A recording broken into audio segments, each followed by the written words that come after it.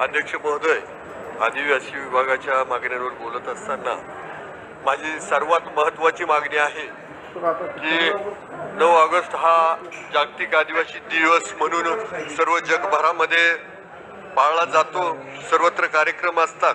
तर महाराष्ट्र सरकारनं महाविकास आघाडी सरकारनं शासकीय सुट्टी नऊ ऑगस्टची जाहीर करावी अशी मी आदरणीय मुख्यमंत्री उपमुख्यमंत्री आणि आदिवासी विकास मंत्र्यांना विनंती करतो.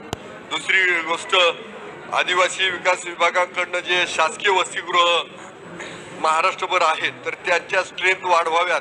कारण आत्ताचं मिरिट जवळजवळ पंच्याहत्तर ऐंशीच्या टक्केवारीला विद्यार्थ्यांचे नंबर वसतिगृहात लागतात आणि बाकीचे जे विद्यार्थी पन्नास साठ टक्केवारीवाले आहेत ते वसतिगृहापासून वंचित राहतात त्यामुळं वसतिगृहांची स्ट्रेंथ वाढवावी.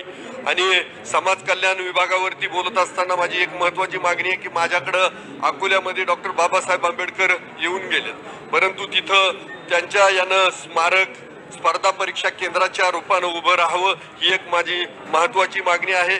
त्याचबरोबर तिथं एक समाज कल्याणचं वसतिगृह उभं राहावं ही एक माझी समाज कल्याण विभागाकडनं मागणी आहे. त्याचबरोबर वैद्यकीय शिक्षण संबोधन